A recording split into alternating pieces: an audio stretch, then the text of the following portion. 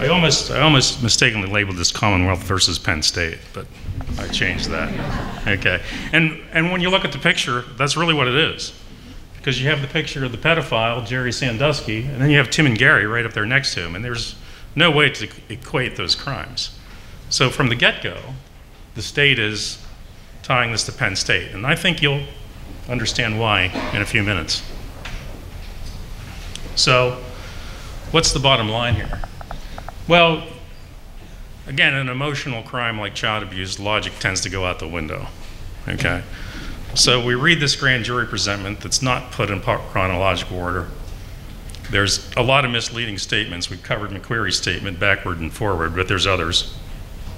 Um, there's D DPS and, yeah, DPS. Um, CYS and DPW, who both failed but are barely mentioned in this report. And then there's the hearsay testimony that I told you about with victim eight that doesn't make any sense. So here we are, Penn State getting hammered for our response to the 2001 incident, and the police and everybody else who has messed up are, are not really getting anything out of this. So let's take a look at how this thing was presented to us all. Aaron Fisher, uh, who prefers to be called Aaron Fisher and not victim one, um, was abused at Central Mountain. And according to the grand jury testimony, Central Mountain High School did everything right. Okay. Then we had victim two, seen in the shower by Mike McQueary. And of course, that incident was covered up. Uh, and then because of that, we have victims three, four, five, six, and seven, okay, who were all abused by Sandusky in the showers. If Penn State had only intervened when they should have, we could have stopped all this. And then there's this terrible incident in the shower that really shows that Penn State, from top to bottom, was covering for Sandusky. The showers were, the janitors were afraid to report that incident because the football program was all supreme. It was a cultural issue. Well, sounds like a pretty convincing story until you put it in chronological order. And then you see that all the abuse happened before any of this was reported to Joe Paterno, or to Graham Spanier, or to Gary Schultz, or to Tim Curley. In fact, what you see is a gap in abuse for about five years after Penn State was told about this. And then Aaron Fisher pops up again in about 2000, 2005. So, how would this be perceived if this was how the presentment was put out there? Would this have been Penn State not intervening and many, many boys being abused, or would this be something else? What might that something else be? Well, remember, there were two other victims that came forward after this. So to be fair, let's look at those two other victims. Victim 10, 1997. Okay, Penn State couldn't have prevented that. They didn't know. Victim 9, abused in 2006. So that five year gap is still there. So then what would the question be? What's with this gap? Okay? How is it that nothing happened for five years? Did Jerry Sandusky stop being a pedophile? Um, why didn't the police find any victims between 2001 and 2005? Maybe the media would have been asking those questions. And if they did, they would have found out that in this case, the police didn't find any victims. That's right. The police did not find one single victim in this case. Let's start at victim seven, actually. Victims seven, four, six, five, and three were all identified by the mother of victim six. She called the police herself after getting a tip or after being contacted by Sara Ganim, who gave her the name of the investigator. So, five victims fell into the police's lap from that woman. Victims 10 and 9 uh, phoned it in themselves. Okay? And the other people that are left are victims two and eight. And there are no victims. Those are the two crimes that the victims haven't been identified. So, in the course of a three year investigation, the police did not find a single victim. That's quite a story. Probably a story that the Attorney General wouldn't want a lot of people to know. So, what else was misleading? Well, at Central Mountain High School, they didn't do everything right. When Aaron Fisher and his mother complained to the, to the principal of the school and the guidance council, they were told, go home, think about it. Jerry has a heart of gold. They went to, immediately to CYS and went on their way to CYS. The school was calling CYS to tell them they were on their way over. CYS was, or the school was doing a CYA. and eventually, um, the Clinton County folks um, got to the bottom of this, and they were the ones who determined that Jerry Sandusky was a child abuser. But it certainly wasn't anything that the school did. In fact, it was Mike Gillum who called the school and told them to ban Sandusky from the premises. So uh, this school didn't do anything right. And in fact, I think when Gillum followed up, followed up with the school to tell them they were banned, it was just kind of like, uh, okay. You know, they, they were uh, more upset that Jerry Sandusky was not going to be an assistant football coach there than they were about Jerry Sandusky being turned in as a child molester. And again, there was the incident at that school in the wrestling room that never got reported. So we get to 1998, and this is a very disturbing slide for me uh, because I called Dr. Chambers to talk to her about what happened. As the story goes, the boy came home with wet hair. And that's what upset his mother because she learned that he had showered with Sandusky. Well, no, his hair was dry. He had a crew cut. It was the summer. Or, so his, his hair was dry. They're having a conversation about what he did. And as he's leaving the room, he says, Mom, we took, a we took a shower just in case you're wondering why my hair is wet. And the mother knew that was her son's way to say something's wrong, something's troubling me. Also, if you look at uh, the research on child sexual abuse, uh, of course, uh, multiple showers, as I, you said there on the bottom, is one of the signs.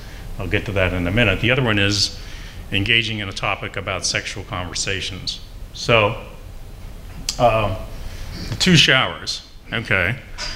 Uh, that piece of evidence is in Gary Schultz's notes, and I've highlighted it uh, over there in yellow. Mother concerned something more. Kid took another shower last night in this AM. Well, that's pretty much a sure sign of molestation. Um, and then there's the other signs in Gary's notes. And what Gary's notes are are the the um, reporting from Schreffler to Harmon to Schultz. So you know that this isn't the, all the details. This is just the important stuff that the guy at the top needs to know. So Jerry has given the kid clothes. I counted on the four pages about 14 signs of things that you would consider possible signs of child sexual abuse. So if I can do it, I'm sure that the guys, the people who are the trained investigators from CYS and DPW should have picked up on those too.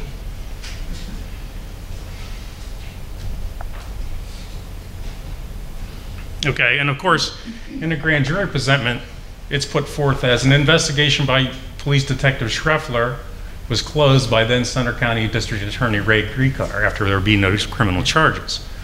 Well, all right, so CP, uh, CY, CYS and DPW aren't even mentioned. But again, Dr. Chambers, she sent her report to CYS, so they knew that Sandusky was exhibiting grooming behaviors. She gave that report to the University Park Police, and she provided an oral report to Childline, which goes to DPW. So all of these organizations knew that a licensed psychologist, PhD, had said Jerry Sandusky's exhibiting grooming behaviors. Okay? DPW ordered a second evaluation, and again, the police and the ADA said no more evaluations. We have the one we need. They brought in an unlicensed counselor to do the evaluation who said, no, Sandusky's just op he's he's doing what you would normally do if you're a male coach. Okay. They they selected that evaluation over that of a psycho of the licensed psychologist. So Jerry Lauro, the DPW investigator, said he couldn't find Uh, child abuse. So therefore, if the state can't make a finding of child abuse, the DA can't prosecute a case. The defense attorney would just bring in the DPW investigator to say, no, there's no child abuse here. So this isn't a Gricar decision. Essentially, it's a DPW decision. So, another interesting thing. So they didn't mention that DPW and CYS were involved in 98, but they also did a good job making it hard for you to figure out that there were really six or seven kids who were under, who could have been investigated in 98. The mother of victim six, if you see in Gary's notes, the, the famous Pandora's box statement. Now, we don't know who originated that statement because it could have been Schreffler, could have been Harmon, it could have been Gary, it could have been John Miller from CYS. But the long and short of it is the mother said, these kids all run in a group with Jerry Sandusky. Okay? She identified victims three, four, five, and seven to the police. So it, if she identified them in 2011, she knew who they were in 1998. And that, that's pretty, pretty logical. Uh, the reason it was hard to follow in the grand jury presentment was if you look on this chart, um, said victim three met Jerry Sandusky in 2000. Well, there's a fall 1999 photo that says, nah, he, he knew him well before 2000. Um, and in the, and in the uh, it, he testified that his abuse occurred in 99. Um, you go back to the associations. Okay, victim three knew victim four. Victim four didn't know anybody. Uh, victim five knew victim six and some other boys. And as it turned out, they all knew each other. Okay, so we had a group of boys who could have been investigated in 1998, and they weren't. And this, again, the state and their grand jury presentment masked this association. And so, what do you know about 98 now? Well, the precipitating event has been incorrect all along. It was not wet hair, it was multiple showers. Uh, lots of signs of abuse known to investigators. Didn't hear about that. Uh, didn't, didn't hear that there was a possibility of more than two victims in 1998. Uh, didn't even mention that C, CYS and DPW were involved. And that there was no mention of the uh, differing evaluations of the child. So as a person who's done inspector general work, this part of my report has already been sent to the PA ta uh, Task Force on Child Protection. I sent it to Representative Scott Petri, who wants to establish an Office of Child Advocate to oversee CYS and DPW investigations. And the 1998 investigation was a travesty. And this office needs to be set up because they failed the kids. There's, there's no two ways about it.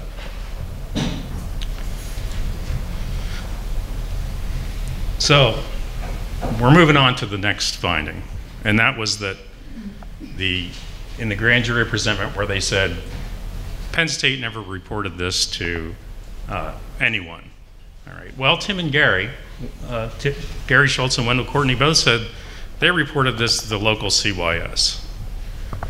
Um, what's interesting is the, the whole conversation around reporting this to DPW. Well, under the law, you make your report to the local child abuse, child welfare organization, and it's their responsibility under the law to make the report to Childline. So by Gary or the group deciding not to go to DPW, that doesn't mean that they weren't reporting it because Tim and Gary said, well, we don't have to go to DPW. We already went to CYS, okay? So nobody has refuted that Tim and Gary went to CYS.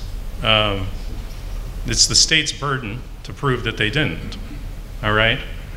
Um, the state's argument is that there are no records of this complaint in the system.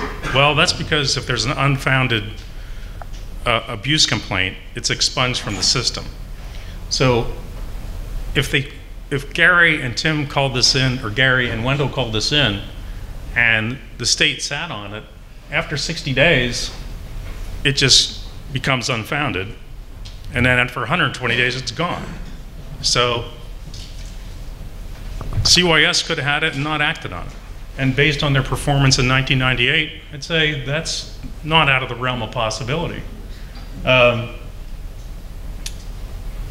the investigator from the state, uh, when he checked into the incident, he still thought it was 2002. So when he called DPW and CYS and asked them, did an investigation occur, he was asking about 2002, not 2001. The person he called at DPW was the same guy who investigated the 1998 case, so that's not, uh, he's not very credible. Um, if, he was, he'd have been called to testify at the trial. Um, the person he talked to at CYS was Carol Smith. Carol Swift, Smith was the assistant director at CYS in 1998. Being the assistant director, it's likely that she had knowledge of that investigation and she knows what happened there. So I would say it's pretty open. Uh, it's a pretty open debate, uh, and, and the states could have a hard time proving that Wendell and Gary didn't contact CYS. And then, of course, this one that we've beaten to death. Okay. Um, Mike, you know, th- this started the firestorm. We've been over it. Uh, they couldn't get a conviction on involuntary deviant sexual intercourse. So Mike's story was not at all convincing to the jury that he witnessed uh, anal intercourse. And so at the end of the day, what do we have? Well, it's a pretty misleading account. Uh, the grand jury presentment is a misleading account of the crimes, the time frames, how each organization responded to this. Um, you know, the police didn't find anybody. Like that, that's one of the most amazing things about a three-year investigation. Um, the high school, the child welfare organizations, they fell down on the job. And the only people who really took it seriously once they knew was Penn State. And we saw from the evidence that for some reason, for a period of years, Jerry Sandusky appeared not to be abusing children. So at the end of the day, and again, it's kind of what Eileen said to you, we've got Sandusky in jail. We had the Freeh report lauded by child, uh, child protection advocates saying, it's doing all these great things at Penn State to make the campus environment safer for kids. But what happens to the children of the state of Pennsylvania? The same people who let Jerry Sandusky roam for 14 years, who could have brought him to justice in 98, are still running the system. And that has to change. My investigation is going to continue. Thank you.